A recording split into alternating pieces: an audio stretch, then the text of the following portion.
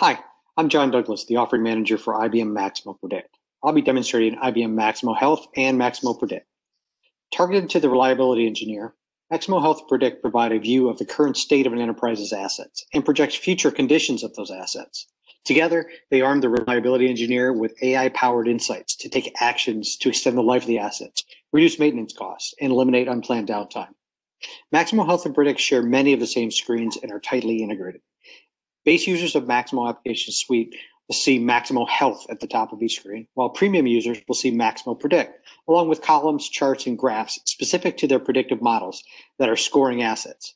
Since Health and Predict are delivered in the Maximo Application Suite, it's easy to start with Health and then move to Predict. The demo will follow these steps. First, I'll introduce the concept of work queues, how they can be used to identify assets in poor health and to help manage your workload.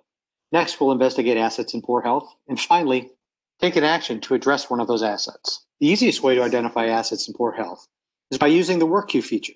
Work queues are pre-configured views designed to help you find what you're looking for and to manage your day-to-day activities. There are a number of work queues included. For our purposes here, there's a work queue for assets with a low health score. For each work queue on the page, we have the option to view a complete list of assets in that queue or move immediately to the first asset on the list and start our analysis. I'll select the low health work queue to see all of the assets with scores in the lowest health range. In this work queue, we can see that there are 10 assets that fall into the lowest health range. The work queue is sorted to show assets from lowest health score to the highest. Risk tolerances can vary among industries, asset types, and enterprises. We can define the health scoring ranges specific to our tolerance level within the health and predict application. We can even assign our own colors. Formulas for health scores are also created within the health and predict application.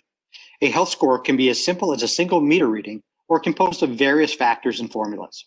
I'll select the first asset in the queue as we start to manage our workload for the day, investigating and addressing all of the assets with low health. The health score of an asset is a crucial piece of the puzzle when investigating an asset in poor health. However, other KPIs about the asset can also help us determine what action to take.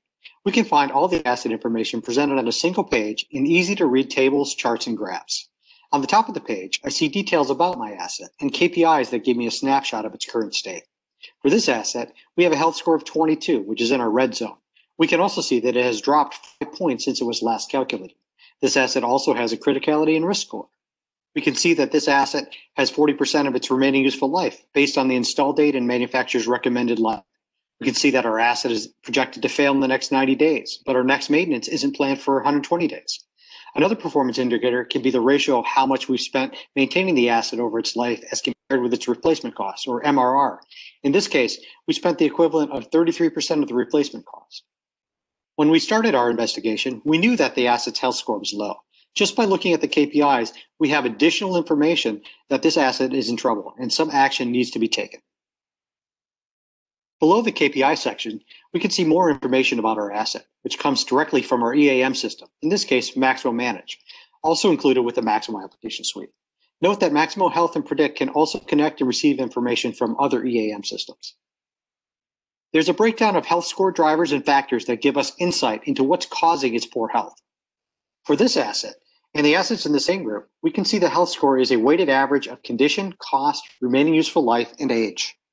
There are several predictive models built to score against incoming sensor data for our asset. IBM Predict includes templates to help our data scientists get started building models to project days to failure, calculate probability of failure, detect anomalies, and generate an asset life curve based on group asset deployment and retirement dates.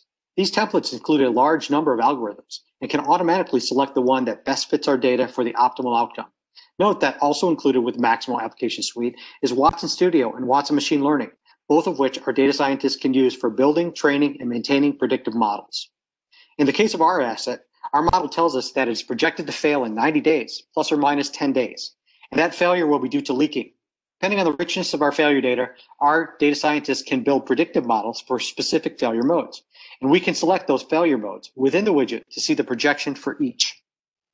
We can see an example of how different failure modes impact our predictions in the failure probability widget it shows a 52% probability of failure in the next six months due to overheating.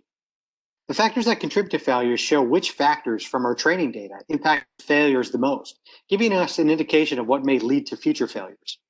Our anomaly detection widget and our history shows that we've exceeded the threshold generated by our model. At the bottom of the page is an asset timeline that shows us several pieces of key information about our asset in the same graph. For example, we can see that I have predicted failure on the top of the graph that will occur before our next planned maintenance on the second line of the graph. While each piece of information or widget gives us insight into the state of our asset, all of the information together gives us a richer view and helps us make data-driven decisions on how to address the low health of our asset. To take an action, we can simply scroll to the top of the asset detail page and select the action button. We can create a service request, create a work order, recalculate a health score, or edit the asset record. In this case, I'll create a work order to schedule preventive maintenance to avoid asset failure and unplanned downtime. Once filled out, I click Create to set a work order. On the asset detail page, I can select that I have addressed the asset, then use the arrow to move to the next item in our queue. With Maximo Health and Predict, the process of identifying assets in poor health, investigating and taking actions is made easy with the use of work queues, health scores, predictive model templates, and a single asset detail page from which we can view all of our assets information and initiate an action.